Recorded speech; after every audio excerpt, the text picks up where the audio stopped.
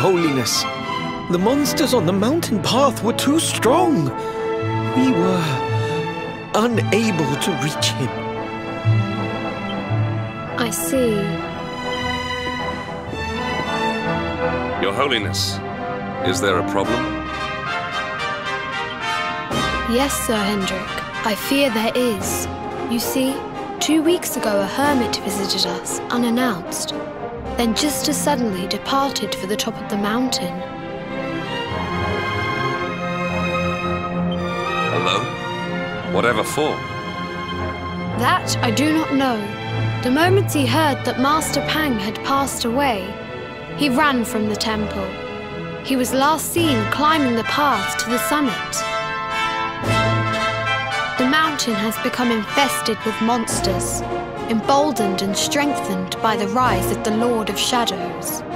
It is a perilous place indeed.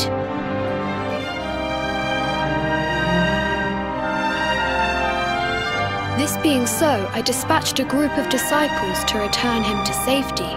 As you can see, things did not go quite as planned. I have trained all my life for a moment such as this, and yet I have failed in my first true test.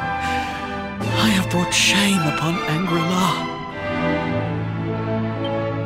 Might we be able to offer some assistance? I thank you for your kindness, but you are guests here. I cannot ask you to undertake such a dangerous task. A knight of Heliodor does not abandon an innocent in need.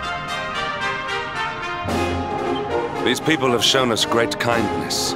It is only right that we do them a kindness in return. Would you not agree?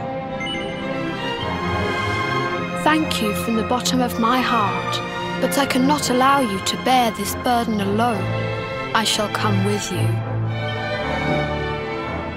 We must depart for the summit of Mount Panglai without delay. After exiting the temple, we will take the path to the east in order to begin our ascent.